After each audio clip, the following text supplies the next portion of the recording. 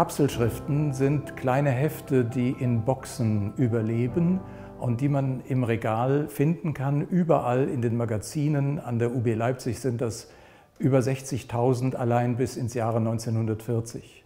Mit diesen Kapselschriften lernen wir hochinteressante Dokumente unserer Kulturgeschichte kennen und zugleich ein wenig die Ordnung der Bibliothek, nämlich die sachliche, fachliche Signatur, unter der die jeweilige Schrift eingeordnet ist.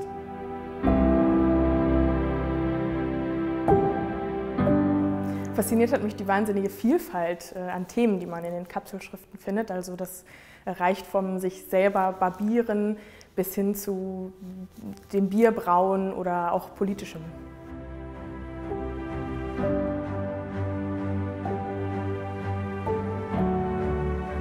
Mich haben besonders äh, Kapselschriften aus dem 16. Jahrhundert interessiert.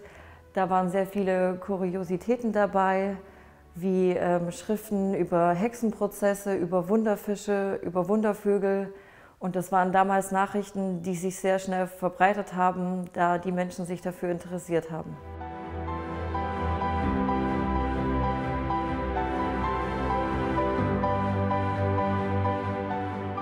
Kapselschriften sind prekär und brüchig und müssen besonders vorsichtig behandelt werden.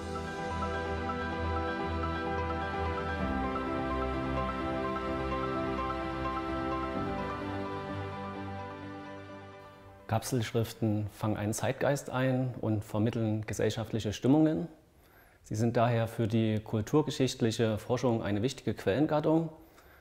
Viele der Broschüren und Heftchen erschienen anlassbezogen. Aus ihnen erfährt man manches von Streit und Kampf vergangener Tage.